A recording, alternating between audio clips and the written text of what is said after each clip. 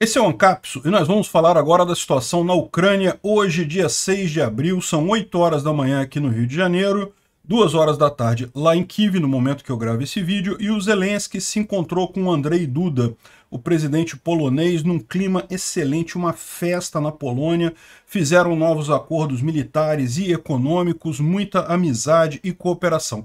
E daí o Putin, para não ficar atrás, resolveu fazer o um encontro com o Lukashenko. O contraste é marcante, né? De um lado o Zelensky e o Duda no meio do povo, uma festa enorme, o pessoal chamando eles, gritando. Do outro lado, o Putin e o Lukashenko naquela mesinha do Putin lá totalmente isolados, né? Ficou realmente um, um, contraste muito interessante aí. E o Putin ainda experimentou mais um pouco de isolamento político quando ele fez a diplomação de diplomatas estrangeiros que estão indo lá, de embaixadores estrangeiros que estão indo servir lá na Rússia, e no final do discurso ninguém aplaudiu ele. Ele falou obrigado três vezes, tentando reencerrar o discurso para ver se o pessoal pegava a dica que era para aplaudir ele, ninguém aplaudiu o cara. Realmente chegou a ser constrangedor isso, né? Os ucranianos fizeram vários bombardeios na retaguarda russa, principalmente aqui em Melitopol e também em Belgorod. E também derrubaram um helicóptero russo aqui na região de Bilororivka, próximo a Luhansk. É, não se sabe exatamente qual o modelo do helicóptero, pode ter sido um Mi-35, é, um Mi-24 ou um Ka-52, mas uh, que caiu, caiu o helicóptero. Em Avdivka, os ucranianos aproveitaram a rotação de tropas russas e conseguiram retomar uma boa parte daquele avanço russo que havia ali ao norte de Avdivka. O Prigogine foi lá no bar dele, lá em São Petersburgo, naquele bar em que houve a, a explosão que matou o Vladlen Tatarsky, e abriu o jogo, falou, olha só, todo mundo sabe que a Ucrânia não tem nada a ver com isso, que o Navalny não tem nada a ver com isso, isso daqui foi coisa do FSB. Entregou na forma de palavras o que todo mundo já sabia. Pode-se acusar o Prigogine de um monte de coisa, mas menos de falta de coragem e de falar a verdade, né? Porque todo mundo sabe que isso foi coisa do FSB, né? O Bill Clinton, ex-presidente americano, admitiu numa entrevista a que se sente culpado pelo acordo de memor pelo memorando de Budapeste lá de 1994, em que a Ucrânia devolveu as armas nucleares para a Rússia e se comprometeu a assinar o Tratado de Não Proliferação Nuclear. Esse realmente é um problema que está na origem dessa história toda. Se a Ucrânia tivesse mantido suas armas nucleares naquela época, é, muito provavelmente não teríamos esse problema todo que a gente está tendo nesse momento. Né? Trocaram as armas por um papelzinho rabiscado em que os russos se comprometiam a não invadir a Ucrânia. Como a gente vê, papel rabiscado não serve para nada. E esse é o grande erro que democratas cometem lá nos Estados Unidos e aqui no Brasil muito, muita gente da esquerda comete também, que é achar que existe paz desarmada. Não, vamos todo mundo entregar nossas armas, que a gente vai ter uma paz sem ninguém ter armas. Isso não existe. Se todo mundo entregar suas armas, a gente vai ficar à mercê de bandidos e do próprio governo. Então, não, só existe paz armada. É lógico, sempre vai ter alguém com mais armas do que os outros. O governo sempre vai ter mais armas que o indivíduo. Mas ainda assim, se você abrir mão do mínimo de autodefesa, aí que você já perdeu sua liberdade completamente. Só existe paz armada, não existe paz desarmada. Vamos falar sobre esses e outros assuntos em detalhes. Essas notícias foram sugeridas por Barbeiro, Falido, Peter Fala Enfim e várias outras pessoas. Obrigado aí ao pessoal que sugeriu a notícia. Obrigado a você que está assistindo o nosso vídeo. Se você gosta do nosso conteúdo, por favor, deixe o seu like e se inscreva aqui no canal. Né? Bom, pois bem, ontem foi uma grande festa lá em Varsóvia, na Polônia.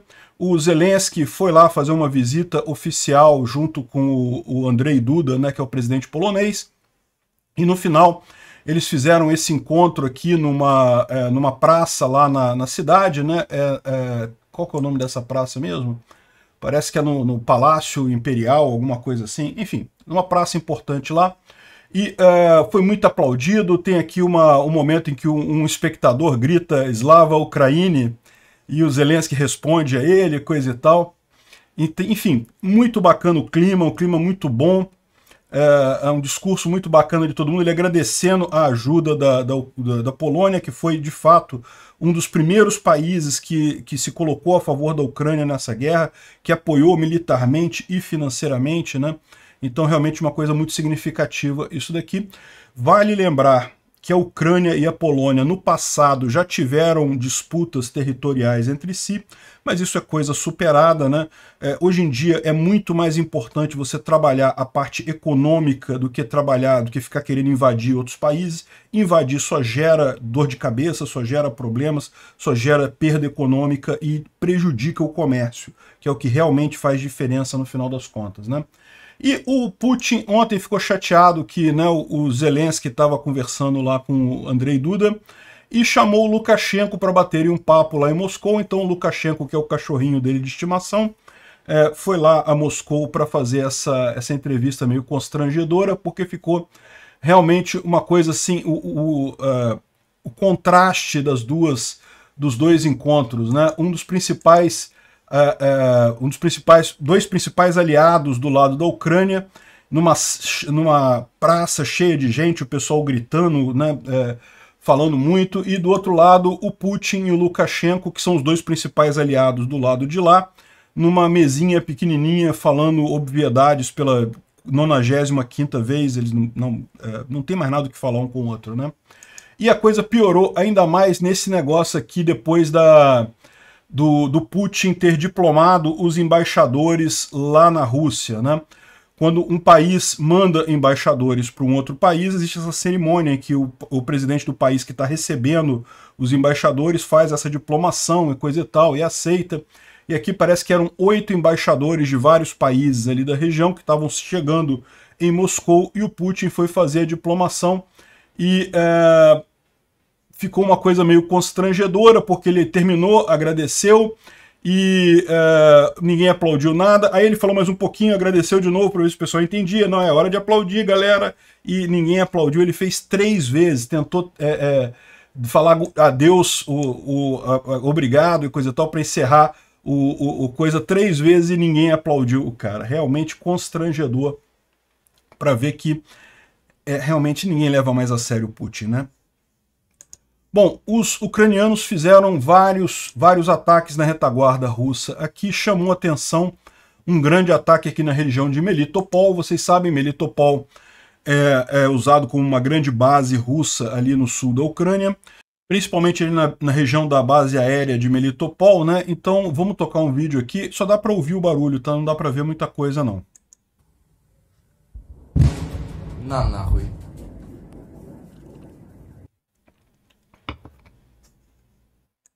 Tem outro aqui também. Esse daqui é, é do, da mesma explosão.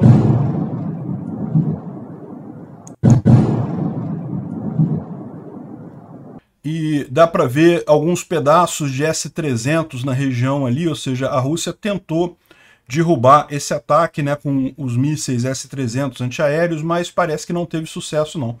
Pelo menos uma parte do ataque ucraniano atingiu o alvo por lá, né? Bom, aqui mais uma vez os ucranianos mostram aqui a preparação para a ofensiva, mais uma imagenzinha de uma série de veículos aqui, de equipamentos ucranianos prontos para a contraofensiva. É lógico, né, isso aqui quando eles divulgam é porque isso já não está mais nesse lugar, já foi, já se moveu para algum outro canto. E é, a gente tem visto isso seguidamente, todo dia, praticamente os ucranianos mostram uma imagem desse tipo, né? E ontem pela primeira vez, os ucranianos, o exército ucraniano mostrou um vídeo em que eles atiravam no território da Rússia. Então essa região aqui, essa, essa linha de árvores aqui, fica em Tsapovka, eh, na região de Belgorod, e ali os, uh, os russos colocaram alguns uh, equipamentos de artilharia para atingir o território ucraniano. Então os ucranianos fizeram esse bombardeio atingindo esses elementos russos aqui nessa, nessa linha de floresta aqui, que é no território russo isso daí, né? É pouca coisa, é, é 1 km e 300, né, 1.300 metros da borda com a Ucrânia, da fronteira com a Ucrânia, mas de qualquer forma foi um ataque na Rússia mesmo, né, no território russo. De novo, isso aqui é perfeitamente razoável do ponto de vista da guerra, né? Lógico, os russos estão botando artilharia ali para atingir o território ucraniano, é mais do que justo que os ucranianos atinjam esses equipamentos ali na, na região russa. Né? Agora, além disso, vocês sabem que existe toda uma paranoia dos russos acerca da possibilidade dos ucranianos é, invadirem Belgorod, né? E nesse sentido foi muito engraçado, porque parece que no dia 5 de abril, né, ou seja, ontem, uh, essa moça que gravou um vídeo dizendo que, tava, que a, a vila dela estava sendo bombardeada, que a, causa, a casa dela foi bombardeada e que eh, o quintal tá pegando fogo e todas as janelas quebraram e ninguém ajuda e ela tá aqui apavorada no porão e coisa e tal. E é, que depois ia passar um veículo blindado para recolher eles de lá e coisa e tal. Enfim, tá, tá a moça desesperada aqui justamente é, por conta de algum é, bombardeio ucraniano. Provavelmente não foi o mesmo bombardeio. Esse bombardeio aqui certamente foi é, em local isolado, dá para ver que é uma região é, afastada, mas é aquele negócio, o, os ucranianos têm feito também bombardeios em regiões próximas a vilas ali, tá? Só ressaltando que essa moça não está em Belgorod não, tá? Ela está na região de Belgorod. Belgorod é essa cidade aqui, mas toda essa região aqui, né, é a região de Belgorod. Aqui, ela está na cidade de Shebequino, na região de Belgorod. Então Shebequino é essa cidade aqui bem mais perto da fronteira, uma cidade menor, né? E provavelmente é, é exatamente isso. Os ucranianos estavam atingindo alguma unidade russa que tem aqui na região e a casa dela estava simplesmente perto do problema todo ali, né? Além disso, olha só que curioso, é, esses triângulos aqui, eles chamam de dente de dragão, né? São, em tese, obstáculos para tanques. Os russos têm colocado isso em várias regiões lá da, da Rússia e também das áreas ocupadas na Ucrânia. A ideia é que o tanque tem dificuldade de passar nessa coisa, embora a gente já tenha visto que o tanque passa nisso daí com muita facilidade, né? Mas pode impedir outros veículos blindados, pode dificultar alguma coisa, né? O fato é que é, alguém, não se sabe quem, pichou nesses dentes de, é, de dragão aqui, lá na região de Belgorod, a seguinte frase: Ucrânia, a BPR está aguardando. O que, que é BPR? É a República Democrática de Belgorod. Ou seja, o que estão sugerindo aqui, né? Da mesma forma que os russos invadiram a Ucrânia aqui e disseram que não, não foi a gente que invadiu, não, foram as pessoas ali de Donetsk que criaram a República Popular de Donetsk, coisa e tal. Não, não foi a gente que invadiu Luhansk, não, foram as pessoas ali de Luhansk que criaram a República Popular de Luhansk, coisa e tal. Então, da mesma forma, o pessoal está recomendando que a Ucrânia é, crie a República Popular de Belgorod e invada essa região aqui. Né? Mas, de novo, eu estou falando isso tudo aqui só para comentar a curiosidade da coisa. Não acho que os ucranianos vão invadir Belgorod. Vão fazer, vão dar tiros em elementos militares na região de Belgorod? Certamente, é direito deles. Os, os russos usam a região de Belgorod como apoio das tropas russas que estão invadindo a Ucrânia e até para atingir civis na Ucrânia. Então é bastante justo que os ucranianos respondam destruindo essas unidades. Agora, invadir, eu não acredito que vão fazer, não, mas o pessoal está brincando com isso.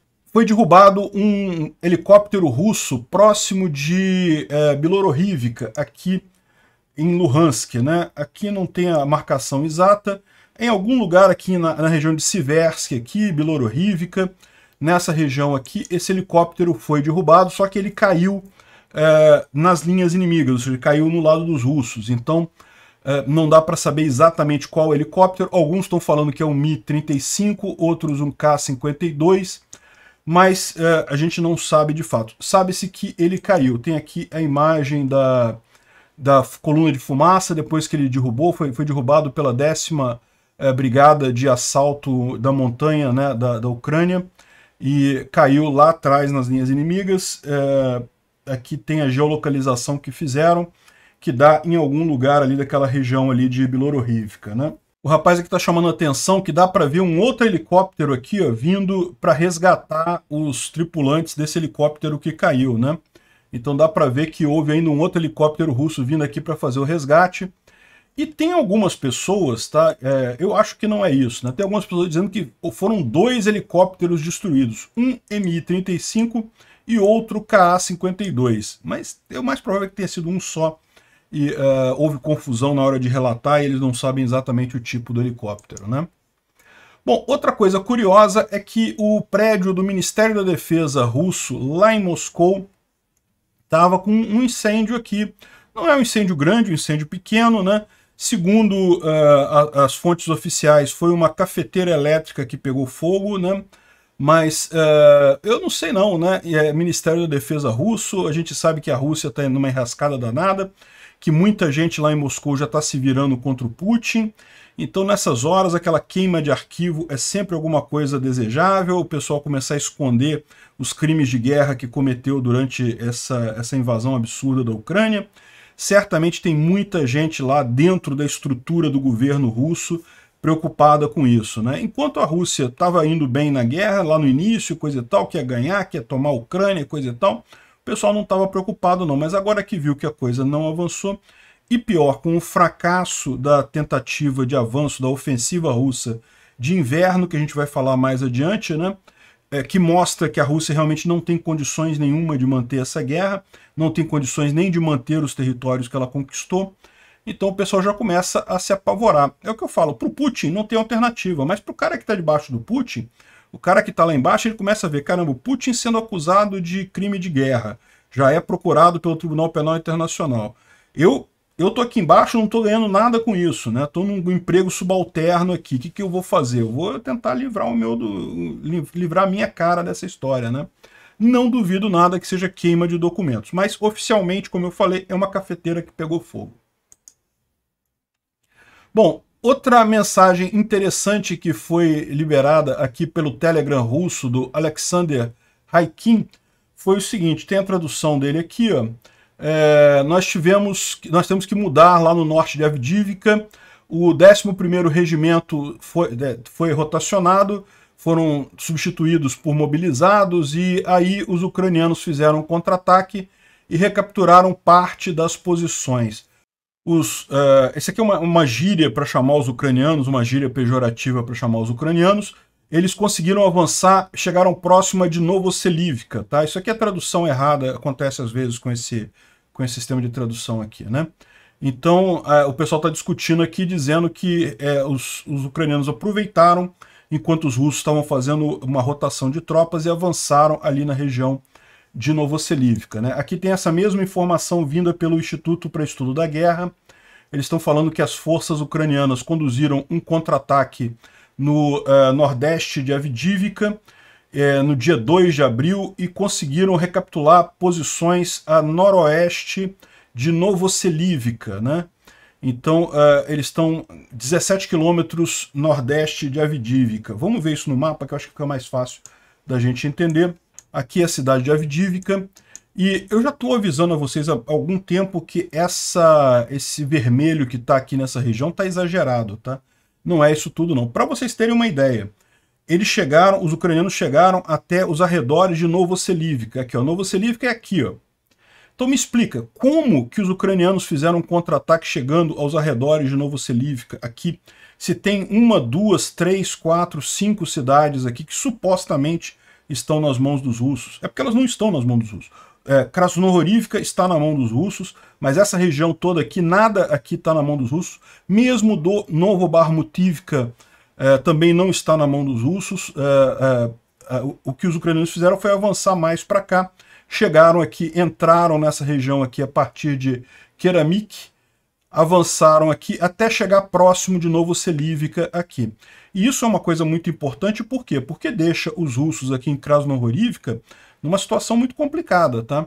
Vamos aguardar para ver como é que é o desdobramento desse avanço aqui, mas isso é um contra-ataque que pode ter consequências bastante sérias para os russos nessa região. E da mesma forma, eu venho avisando vocês que essa, essa mancha vermelha aqui está exagerada. Eu fico pensando se esse, esse mapa exagerado a favor dos russos não é justamente os ucranianos tentando convencer os russos a avançar, atacar mais. Olha só, estamos perdendo, ataca a gente, coisa e tal, né? Porque é o que os ucranianos querem nesse momento, que os russos continuem no ataque para serem atritados ao máximo até o momento da contraofensiva, né? Enfim, esse, esse contra-ataque aqui também já é uma operação de atrito também, né? Certamente os ucranianos fizeram isso justamente para deixar os russos que estão aqui em Krasnohorivka numa posição ruim, e daí fica mais fácil atingir esses russos aqui, né? Outro relato triste dos russos aqui que surgiu nos Telegram russos foi nesse outro blog russo aqui. É um texto grande, eu vou resumir para vocês. O que ele está chorando aqui é que em Vuledar, é, essa pessoa está falando aqui, estou falando a minha opinião, não é nada oficial e coisa e tal. Eu fui chamado para ir para Vuledar porque questão dos drones e coisa e tal, para ajudar a, a guerra com os drones lá e na verdade é uma tragédia aquilo lá, está muito mal planejado, os ucranianos estão numa posição muito boa. No final das contas, as armas que a gente tem para derrubar os drones deles não resolvem nada, porque são armas que você aponta para o drone para derrubar o drone. Só que os ucranianos, quando fazem um ataque, eles fazem com vários drones ao mesmo tempo, então eh, mesmo que você derrube um ou outro, eh, vai chegar algum para fazer espionagem, para ver o que está acontecendo. Enfim, o que ele está reclamando aqui é que lá em Vuledar a situação é uma completamente está completamente desesperadora para os russos ali, né? Enfim, curioso saber disso, né? É, Vuledar é mais aqui embaixo, vocês sabem, e está relativamente parado desde então. Ele estava falando especificamente dessa região das Dachas aqui ao sul de Vuledar, que é onde os russos estão tentando retomar essas Dachas, né? Vocês lembram, em determinado momento, os russos chegaram a tomar toda essa região laranja aqui, inclusive aqui chegaram do ladinho de Vuledar aqui, e também tomaram essas outras dachas que tem aqui também ao sul aqui de Vuledar, a sudoeste de Vuledar, é, só que perderam isso tudo. Inclusive esse mapa aqui também está exagerando o, o, vermelho aqui. Essas dachas aqui ao sul, aqui junto ao rio, já foram retomadas em sua grande maioria pelos ucranianos. Existe um pedaço delas que ainda está com os russos aqui numa uma beirada aqui, e é justamente os russos estão tentando retomar essas dachas aqui, porque eles entendem que essa é a única forma de preparar para um futuro ataque a Voledar, né? É, eu não sei não, acho que eles não vão conseguir nada por aqui não. Ontem o Igor Strelkov né, deu uma, uma reportagem aqui, fez uma entrevista com o pessoal, e, uh, e, basicamente elogiou muito o exército ucraniano, falou que os ucranianos parece que melhoraram muito a forma de lutar desde o início dessa guerra, estão cada vez mais fortes. A Rússia eh, parece que não aprendeu tanto quanto os ucranianos, reforçou-se também, é verdade, mas não conseguiu tanto assim, ou seja, ficou aqui quase que um puro elogio às forças ucranianas aqui nessa região, mas na verdade é aquilo que eu falo para vocês é esse pessoal já preparando, conscientizando o povo russo para a derrota que está vindo por aí, ou seja, que eles sabem que não vão conseguir é, manter uh, uh, as posições russas, né? E é, a continuidade dessa entrevista, ele também criticou muito o Prigogine. Vocês sabem, o Igor Strelkov, ele é um agente do FSB, então por isso que ele fala essas coisas, que ele critica o Putin, fala contra a Rússia, coisa você pode achar que é um, um arroubo de, de macheza dele, né? Porque qualquer outra pessoa lá na Rússia que falar contra o Putin e coisa e tal vai preso, né? A questão é que o Prigogine, quando fala essas coisas, são autorizadas. É o FSB que está falando ali, justamente porque é, é, é, interesse deles colocar a população é, a par do que está acontecendo, ou pelo menos preparar a população para o que pode vir a acontecer, né? Então fica muito claro isso daqui, ao passo que ele elogia os ucranianos e ele critica o Prigogine, parece que o Prigogine de fato está incomodando muito os status quo russo lá, é, com essa ação, né, pelo fato da, do grupo Wagner ser um único lugar em que os russos conseguem avançar de fato na Ucrânia. Né? Realmente consolidou na mente da, da, da população russa, do pessoal que quer a guerra, que o Prigogine é quem está fazendo as coisas certas, o exército russo como um todo, o Putin particularmente, é quem está errando nessa história. Né? Enfim, e claramente o Strelkov quer brigar com o Prigogine porque, de fato, é, é, é, já é a preocupação com o depois, né? E depois que o pessoal perder a Ucrânia, o que, que vai acontecer em Moscou, né? Enfim, é, ele coloca aqui a, é, a, a, crítica a mercenário, fala que negócio que quem luta por dinheiro é errado e não sei o que lá. Enfim, me parece muito uh, uh, clara aqui a, a, visão derrotista dele, né? E tem uma razão disso. Tá? O Tendar traz aqui uma observação que é, é mais ou menos a, a, o sumário da conclusão de vários analistas de guerra aqui sobre qual era o interesse é, da, da, ofensiva russa na, na, no inverno. Né? Os russos, vocês lembram, quando chegou lá no final do ano passado, final do verão do ano passado, início do outono, né, os ucranianos conseguiram fazer a ofensiva de Kharkiv, retomaram toda a área de Kharkiv aqui, É, depois retomaram Kherson também, os russos foram obrigados a abandonar a margem direita do Dnipro. E aí os, acendeu o alerta para os russos. Os russos viram que iriam perder todo o território que eles conquistaram na Ucrânia. O que, que o Putin fez então? Fez a mobilização, algo que é, custou caro para ele politicamente, né, fazer a mobilização, botou um monte de gente nova ali, é, botou a indústria russa em modo de produção de guerra, né, para poder atender a demanda de equipamentos russos lá na linha de frente. Fizeram um monte de coisa ali, justamente por quê? Porque eles planejavam dar um fim a essa guerra agora. Eles queriam chegar na, na fronteira de Luhansk e Donetsk para poder é, propor um acordo de paz em que a Rússia sairia é, ganhadora. Ela diria que não, olha só, a gente vai ficar só com Luhansk e Donetsk aqui e acabou, né? Então, segundo o, uh, o Tendar coloca aqui, o plano 1 era justamente fazer uma, uh, uma quebra né, das linhas defensivas ucranianas em Kupiansk, Kriminá, Barmut, Avdivka, Marinka e Vuledar, e assim é, tomar essas primeiras essas cidades na primeira linha de defesa. Né? Então seria esse aqui o plano, o primeiro plano russo nessa região aqui, né? seria a primeira ideia russa é, da ofensiva de inverno deles. E eles de fato tentaram, vocês lembram? A gente falou sobre várias tentativas de avanço russo aqui em Kupiansk, aqui em Lima, né? Os russos chegaram a avançar na floresta aqui a oeste de Kriminá, né? Em direção a Lima. Só que não conseguiram avançar tanto assim. Em Barmut, que foi onde eles conseguiram avançar o máximo, também não chegaram tão longe assim, nem tomar a própria cidade de Barmut. É, Avdivka, a gente está vendo aqui as tentativas russas de cercar Avdivka, embora também não tenham tanto sucesso. E Vuledar foi a grande tragédia russa, eles não conseguiram nada, conseguiram destruir um monte de soldados ali sem absolutamente nenhum, é, nenhuma vantagem. Né? Um segundo passo seria justamente expandir essas áreas é, por áreas menos povoadas, então aqui seria circular aqui, ou cercar Kramatorsk e Sloviansk, Kramatorsk e Sloviansk são duas cidades muito grandes aqui nessa região, então a visão deles é que não valeria a pena um confronto direto, eles iriam cercar as cidades aqui na região e também expandir aqui ao sul, né? E finalmente é, fechar todo esse domínio na terceira linha de cidades aqui e no final faltaria pouca coisa para tomarem todo o oblast de Donetsk e também o Oblast de Luhansk, os trechinhos que ainda faltam eles tomarem, e mais do que isso também esse trecho aqui do Oblast de Kharkiv até o rio Oskil, né? Então qual que era a ideia dos russos? Chegar nesse ponto aqui, isso daqui é o que eles tinham planejado para o dia 31 de março, não preciso dizer para vocês que eles não conseguiram fazer nem a primeira fase disso daqui, nem a primeira fase eles foram capazes de fazer, quanto mais todo o resto aqui, mas esse era o plano deles, era isso que eles queriam. É, e por quê? Porque eles podiam dizer o seguinte, olha só, a gente vai ficar com esse pedaço aqui de Kharkiv em troca de Zaporizhia e Kherson.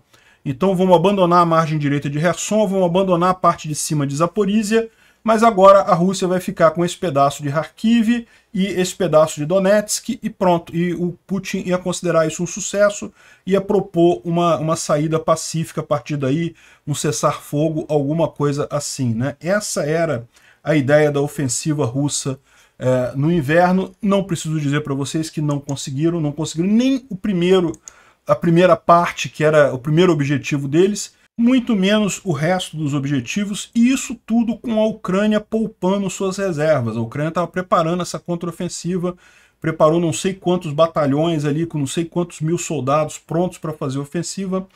Ou seja, é, os russos chegaram à conclusão de que realmente essa guerra está perdida. Essa é a visão que muita gente está tendo neste momento da guerra. Né? Aqui, ó, olha só que curioso, o, isso aqui é a live do Arestovich, tá? o Arestovich continua fazendo essa live, infelizmente o Dmitry parou de fazer a tradução dela, mas a gente vai dar uma olhada aqui em alguns pontos que ele mencionou aqui, mas uma coisa interessante que ele mostra é justamente o mapa naquela região ali de, uh, de Avdivka, e já mostra aqui ó, o avanço ucraniano ao norte de Novoselivka. Então repara como, como eu expliquei para vocês, essa coisa aqui está muito exagerada aqui em Avdivka, essa região norte aqui. No mapa deles aqui, ó, eles estão com Novo, Novo Barmutivka, estão com Novo Selivka, e aqui, mas olha só, mas essa área toda aqui ó, de Keramik, que é essa cidade aqui. Isso aqui tudo, é, na verdade, os ucranianos estão dominando tudo isso daqui. E, e a contraofensiva, o contra-ataque que eles fizeram esses dias foi justamente nessa direção aqui, tomando posições ao norte de Novoselivka, né? Bom, o, a, live dele, como eu falei, eu não vou traduzir tudo porque seria são é, 45 minutos de live aqui, realmente seria complicado para traduzir tudo, mas eu vou falar, dar uma passada pelos principais temas que ele falou aqui. É, é, se você quiser assistir a live, dá para botar o, a legenda em inglês. Até em português você consegue colocar a legenda, tá? Mas se você souber ler inglês, eu recomendo que você coloque a legenda em inglês, porque a tradução automática do YouTube, ela traduz melhor para o inglês do que para o português. Vai acabar ficando mais confuso você ler em português do que ler em inglês, né? Mas lógico, se você quiser, dá para botar em português também, dá para entender muita coisa. E bom, ele falou sobre o encontro lá, sobre a visita do Zelensky à Polônia, e falou sobre exemplos de superação de disputas históricas com boa vontade, coisa, coisa e tal. É o fato que eu estava explicando para vocês. A Polônia e a Ucrânia já tiveram no passado disputas territoriais. Lviv, toda essa área aqui, é, é, o oeste da, da, da Ucrânia, já foi já foi da Polônia, né? mas isso tudo foi resolvido de forma diplomática e no final das contas é muito mais importante você ter paz para fazer comércio com seus vizinhos do que você decidir quem é que vai ter que cidade, coisa e tal. Né? Mas justamente por isso que você não pode tolerar uma invasão como essa da Rússia, porque é o uso de violência, isso vai acabar jogando esse troço para o paradigma passado, o paradigma da conquista territorial. Né? E aí eles fazem uma elocubração sobre se um governo é, razoável subir ao poder em Moscou, se poderia haver um acordo pacífico com a Ucrânia. A conclusão que eles chegam é que não, isso é uma coisa histórica, os russos sempre vão ter esse interesse expansionista. E uh, falam um pouco sobre a linha de frente, coisa e tal. Uh, e depois falam que a Ucrânia prepara, não são 40 mil brigadas militares, são 40 mil pessoas em novas brigadas de assalto militares, né? 40 mil brigadas militares seria muita coisa. Eles falam sobre o caso de um piloto ucraniano que teria caído na região de Briansk. A gente vai falar sobre isso. É esse rapaz aqui que caiu na região de Briansk ali. Outra coisa importante que eles chamam a atenção, eles também falam aquele negócio da, da, do contraste entre o Lukashenko e o Putin e o Zelensky e o Duda, né? Outra coisa que eles mencionam que é bem interessante é que o ministro da, das Relações Exteriores da China abertamente falou que a, a China não vai apoiar militarmente a Rússia, que a China tem uma amizade histórica com a Rússia, mas que ela não apoia a Rússia nessa guerra, né? Ou seja, ficou bastante claro isso daí, né? Ele fala também do, do Putin falando para os embaixadores que não aplaudiram o cara. Ele fala também sobre o Karakulov, a gente falou sobre isso no vídeo de ontem, aquele é, é, capitão da, é, do FSO que é, servia Putin e que fugiu para o Ocidente. Então, ele fala sobre outros pontos aqui, né, sobre a questão da mania de perseguição do Putin, da paranoia do Putin, de fato ele é paranoico. Enfim, fala sobre o Trump, com declarações desanimadoras sobre o Putin, e, uh, e fala sobre o Bill Clinton, que a gente vai falar sobre isso também, né? No final aqui ele menciona é, que talvez a única forma da Ucrânia encerrar de fato essa guerra depois da retomada dos territórios vai ser ou com a entrada na OTAN ou então com o fim do status de potência não nuclear. Ou seja, a Ucrânia, é, uma outra alternativa à entrada à OTAN seria a Ucrânia ter armas nucleares próprias dela, né? Então, isso é... A gente vai falar sobre essa questão de armas nucleares daqui a pouquinho também. Uh, o, o Instituto para o Estudo da Guerra fala sobre uh, o discurso do Zelensky lá na Polônia, em que ele falou que sim, que as forças ucranianas podem sair de Barmut para evitar um cerco se for necessário, mas por enquanto não é necessário ainda, né? ou seja, ele está só reforçando aquilo que a gente já sabe, os ucranianos continuam na tarefa de atritar os russos o quanto for necessário. Enquanto eles estiverem conseguindo matar muitos russos ali em Barmut, deixa a coisa seguir, né? Ele fala de uma série de outras coisas aqui, mas eu acho que não, não, uh, não tem interesse, são coisas que a gente já mencionou, ou que a gente vai mencionar em seguida aqui, né? Esse caso aqui é um caso que os russos estão fazendo uma grande festa com isso, tá vendo? Tomamos um avião da Força Aérea Ucraniana Olha, eu não sei não, cara, mas isso daqui parece meio que um ultraleve que o cara estava usando aqui. Eles estão dizendo, os russos estão dizendo que o cara estava planejando explodir uma, um gasoduto com esse aviãozinho, ia jogar a bomba do gasoduto, mas a verdade é que esse avião aqui não consegue nenhuma bomba de maior peso, qualquer coisa nisso daqui não vai conseguir decolar. Enfim, pode ter sido uma, uma operação de visualização, de monitoramento da área, Pode ter sido, mas eu sinceramente questiono até a questão de fazer com um ultraleve desse, porque poderia ser muito mais fácil fazer isso com um drone, por exemplo. Né? Segundo o piloto, que é ucraniano mesmo, ele disse que, na verdade, ele estava testando as, as baterias antiaéreas ucranianas. O exército ucraniano contratou ele para ele voar na região da, uma região da, da defesa ucraniana e ele, sem querer, acabou entrando na Rússia. Enfim, eu não sei o que fazer disso daqui, mas não me parece uma coisa muito significativa no final das contas, né? O cara estava armado, mas ele nem tentou usar a arma quando o avião caiu. Ele, é, segundo ele, o avião caiu por defeito mecânico. É, ele simplesmente jogou a arma no chão e se entregou. Não houve, não houve nenhuma outra altercação aqui, né? Bom, falando ainda sobre o caso lá do Tatarsky, né, do Vladen Tatarsky, tem as imagens aqui pouco antes da, da explosão, né, vocês já viram isso daqui.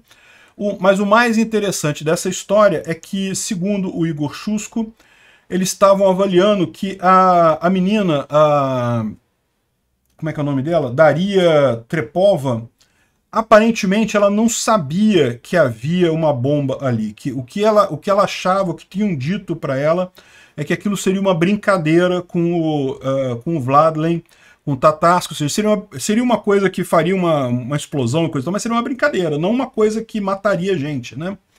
E é, agora, o que chamou atenção nessa história toda foi o Prigogine, que fez uma declaração lá, ele foi lá no, no café destruído lá em São Petersburgo, lembra, o café é dele, né? E aquilo que a gente falou para vocês, estava na cara que esse troço é algo do FSB para mandar recado para dois grupos. Primeiro para o grupo dos uh, agentes, dos bloggers militares russos que criticam o exército russo, e depois para mandar um recado para o Prigogine. O Vladimir Tatarsky, ah, ele era um crítico muito grande da Ucrânia? Era, né? Falava um monte de merda? Falava um monte de merda, mas para que, que a Ucrânia ia querer se dar o trabalho de matar um cara que é um blogger militar? Não, não tem sentido isso, né? Da mesma coisa, da mesma forma o Navalny, né? E aqui o Prigogine falou, olha, não tá brincando, não tá é, caindo no plano do FSB. Ele imediatamente foi é, lá no bar e publicamente falou que a Ucrânia não está por trás disso e isso foi uma questão doméstica russa, uma operação doméstica russa contra ele o que todo mundo sabe. Está mais do que na cara que foi exatamente isso, foi feito pelo FSB.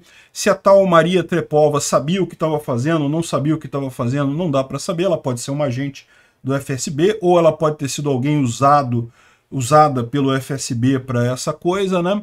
Enfim, não sabemos, uh, mas o que está óbvio é isso. Né? Não tem nada de Navalny, Ucrânia. Por que, que interessaria essas pessoas fazer um negócio desse? Não tem interesse nenhum, né? Só mesmo o governo russo fazer isso contra o Prigogine e ainda mandar um recado para os blogueiros militares russos que criticam o exército russo. Né?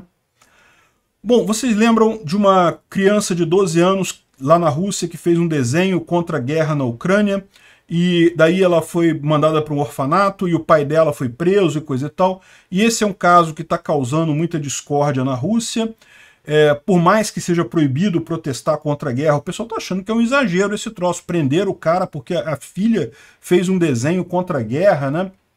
Pois bem, e houve é, manifestação lá no fórum, né, na frente do no fórum onde o cara está preso, um monte de gente protestando contra essa prisão dele, e inclusive uma criança que fez um desenho dizendo Putin come crianças.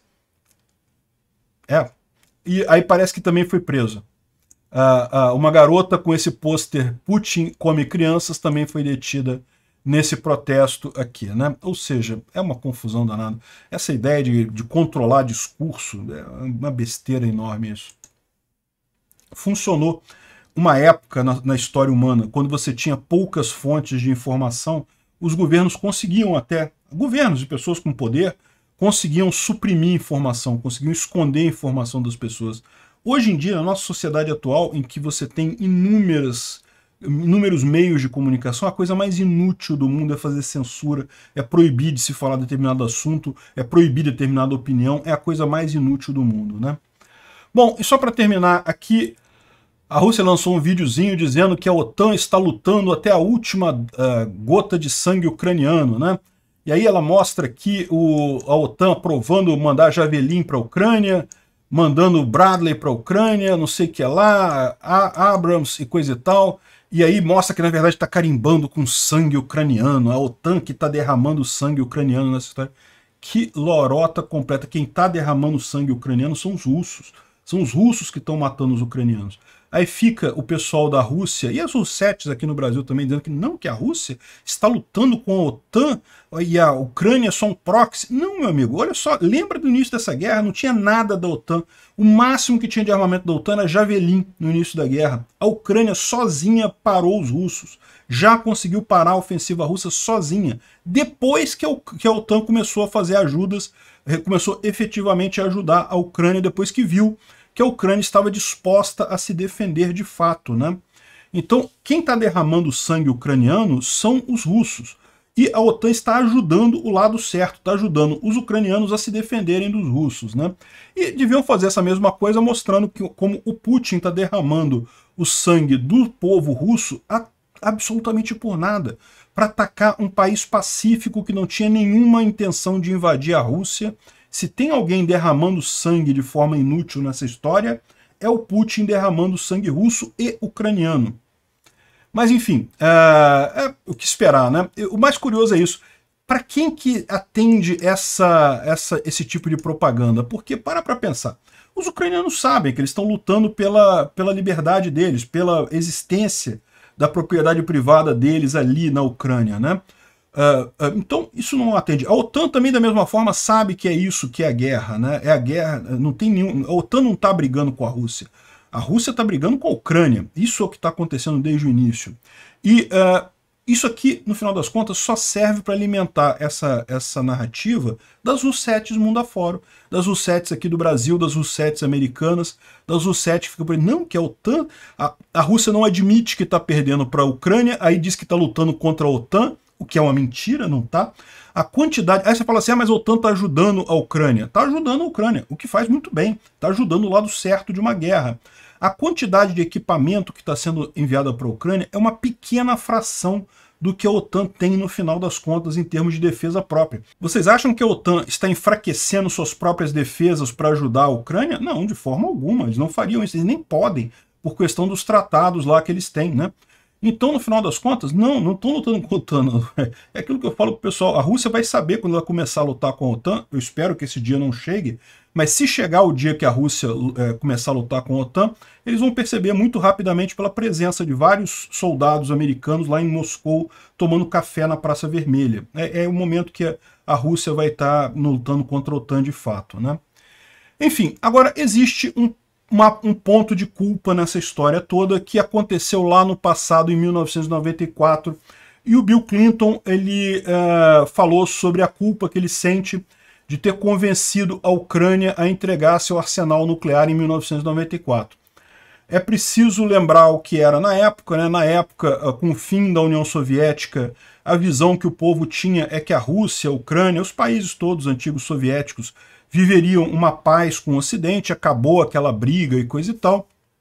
E era importante para os Estados Unidos diminuir o arsenal atômico do mundo todo, né? Então a ideia era que de menos bombas atômicas resolveria essa questão. E uh, nesse sentido que eles acabaram convencendo a Ucrânia a assinar o memorando de Budapeste, que era um memorando em que a Rússia se comprometia a respeitar as fronteiras da Ucrânia em troca da Ucrânia devolver as armas nucleares para a Rússia. Né? Como a gente pode ver, a Rússia não respeitou esse acordo, esse, esse memorando de Budapeste, é, fez um absurdo que fez, e justamente se a Ucrânia tivesse mantido as armas nucleares, era provável sim que teria, isso teria evitado a Rússia. Né? Eu acho que tem duas mensagens muito importantes aqui. A primeira delas é justamente a importância de você ter armas. Eu acho que nesse momento a Ucrânia tem essa, essa situação justamente porque é, países ainda são relevantes. Países vão se tornar cada vez menos relevantes daqui para frente.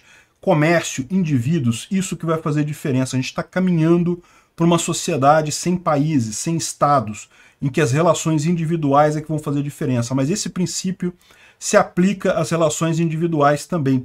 É importante as pessoas terem capacidade de defesa. Se você é, não existe paz desarmada, até porque ninguém propõe acabar com todas as armas. Sempre que alguém fala em desarmar pessoas, eles falam em desarmar algumas pessoas. Ninguém fala em desarmar todas as pessoas do mundo.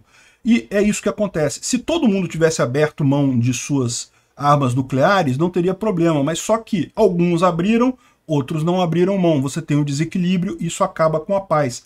É a mesma coisa que quer fazer a esquerda aqui no Brasil, inclusive os democratas lá nos Estados Unidos. Proibir algumas pessoas ou dificultar algumas pessoas terem armas, né? enquanto outras vão continuar tendo armas do mesmo jeito. Não existe paz dessa forma, paz com desequilíbrio. Você só tem paz armada. Né? É muito importante ver isso daqui. Agora, por outro lado, bomba atômica em si é uma coisa totalmente inútil, serve só mesmo para deter é, é, eventuais invasões de países. Isso está meio que no fim, no final das contas. Eu acho que não tem muito que Uh, uh, o que valer a pena isso daí. Não sou a favor do Brasil, por exemplo, ter armas atômicas, acho uma besteira isso daí nesse sentido. Por quê? Porque armas atômicas, na verdade, não ajudam em nada em termos estratégicos tirando situações muito específicas, como é o caso lá da Ucrânia e da Rússia, que realmente teriam poder de, de detenção significativo, isso não tem valor no resto do mundo. Né?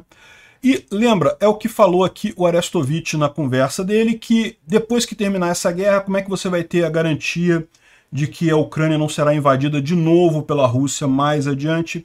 E uh, aparentemente o Zelensky está sendo convidado para conversar com a OTAN em julho. Vocês sabem, a Ucrânia já submeteu sua, o seu interesse em fazer parte da OTAN.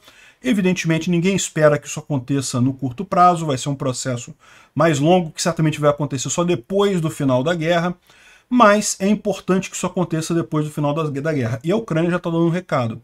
Se a OTAN não fizer, não se responsabilizar, não aceitar a Ucrânia dentro da OTAN, a Ucrânia vai é, refazer o seu programa nuclear, porque é a única forma que ela tem de é, conter uh, uh, um eventual futuro, uma futura eventual invasão russa. Né?